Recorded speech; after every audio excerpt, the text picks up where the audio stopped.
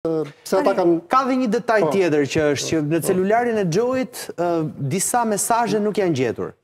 Pra janë të fshira. Po. Kush e thotë këtë që nuk janë gjetur? Nuk janë gjetur, sipas disa informacioneve që unë kam marrë dhe një pyetje është që vajza, personi që ka kërkuar pinin e mhm. celularit, ka qenë Emily. Pra shoqja e dhomës. Po. Ëm që në fakt të bën të pyesësh pse shoqja e dhomës ka kërkuar pinin e celularit për ndërkohë që vajza ka qenë duke ka qenë pra e humbur. Cila është mund të jetë lidhja, përse duhet?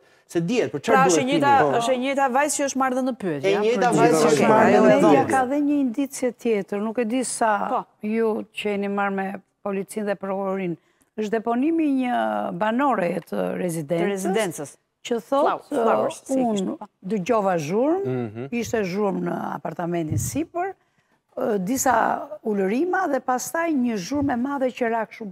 Po pra, tani se kjo është një tjetër moment që... Dhe unë në mëgjes kam shkuar, kam denoncuar në polici, jo, thotë kjo. Atere, ku ka një... Atere, ka një... Po pra, se tani ka edhe një moment tjetër. Duke qenë se ka kaluar le të themi 32 orë nga zhdukja e po. e Joyce. E Joyce, po. Është pak e çuditshme sepse në atë rezidencë ka pasur dhe kolege të saj.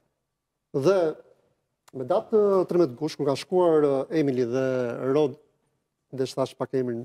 Ish i dashuri, ishte po ja pak. Po, okay. Okay. Po. Ëh, kanë thënë që neve shkuam në rezidencë dhe kontrolluam para dhe mbrapa dhe nuk pamë askënd. Këta kanë shkuar... Ish i dashuri i cili nuk punon më sot në po. po të njëtën kompani. është është pushuar nga kompania ose është larguar nga kompania ende mbetet një lloj misteri.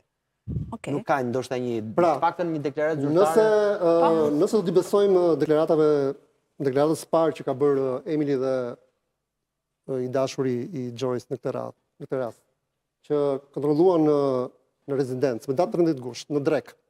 Pra vetëm disa orë pasi Joyce kishte kishte humbur. Atëherë ku ishte Joyce?